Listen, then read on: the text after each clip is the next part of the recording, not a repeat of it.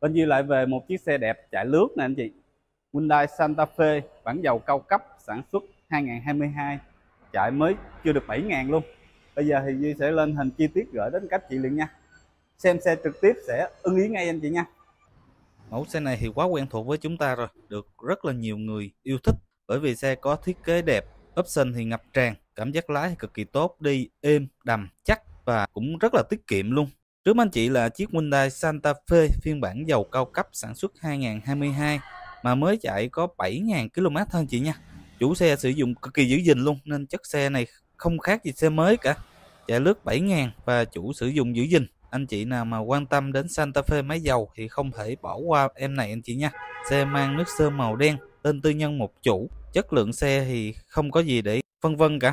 Anh chị nào đang tìm một chiếc Santa Fe chạy lướt để tiết kiệm được chi phí, tiết kiệm được rất là nhiều anh chị nha.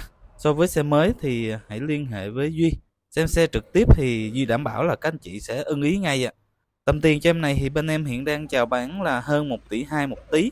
Tức là mình sẽ tiết kiệm được khoảng 200 triệu so với xe mới anh chị mình lấy xe này, không khác gì xe mới cả, và tiết kiệm được cũng rất là nhiều xe thì cam kết với anh chị là không đâm đụng, không ngập nước, máy số, keo chỉ zin, không tua đồng hồ, km, bao kiểm tra và bao vận chuyển toàn quốc ạ rồi, em giới thiệu nhanh chiếc Santa Fe dầu cao cấp sản xuất 2022 mới chạy 7.000 km anh chị quan tâm đến mẫu xe này, liên hệ với em xem xe trực tiếp ạ.